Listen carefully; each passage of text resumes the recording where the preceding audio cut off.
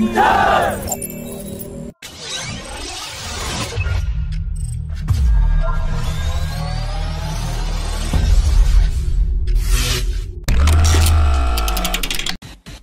per latest media reports, the fabrication of first Indian unmanned strike air vehicle will begin in late 2025 and rollout of the prototype will happen by mid-2026. Gas Turbine Research Establishment plans to have a certified Kaveri dry engine by 2025 that will power the stealth UCAV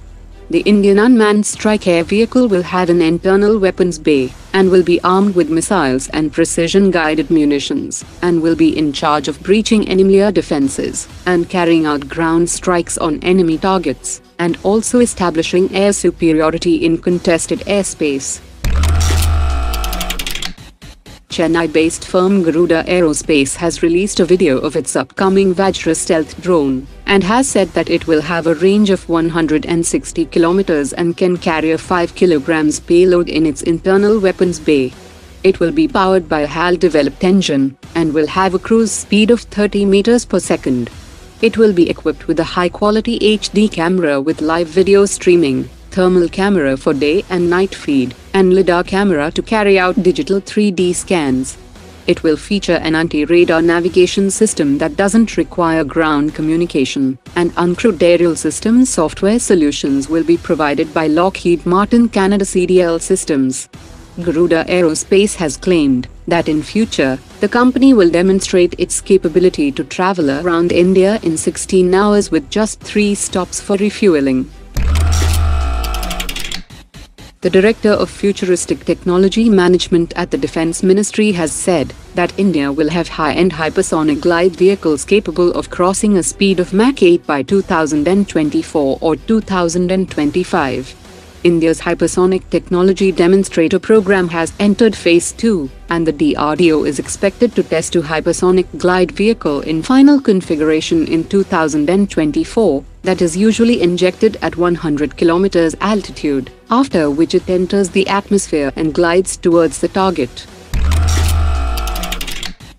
the Indian Army has a requirement of 250 all-terrain vehicles that will be operated by Eastern, Northern and Central Commands of the Army. Overt Defense has reported that the Dawon 4x4 all-terrain vehicle of Indian firm Dakar War Trucks has successfully completed DGST trials along the line of control that has an indigenous content of 85% with the capability of bolt-on armor and it can be armored up to STANAG level 3.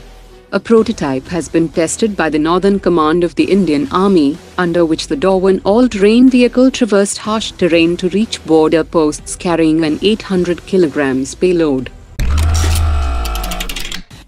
The Indian Coast Guard has signed a contract for 10 multicopter ship-based drones with Sagar Defense that are equipped with sensors and other equipment that will allow them to gather and transmit data back to the ship or to other locations, and they can be operated remotely or programmed to follow a predetermined course. The Coast Guard has plans to induct 100 additional drones by 2025 that will provide a significant boost to maritime surveillance and interdiction capabilities. Thank you.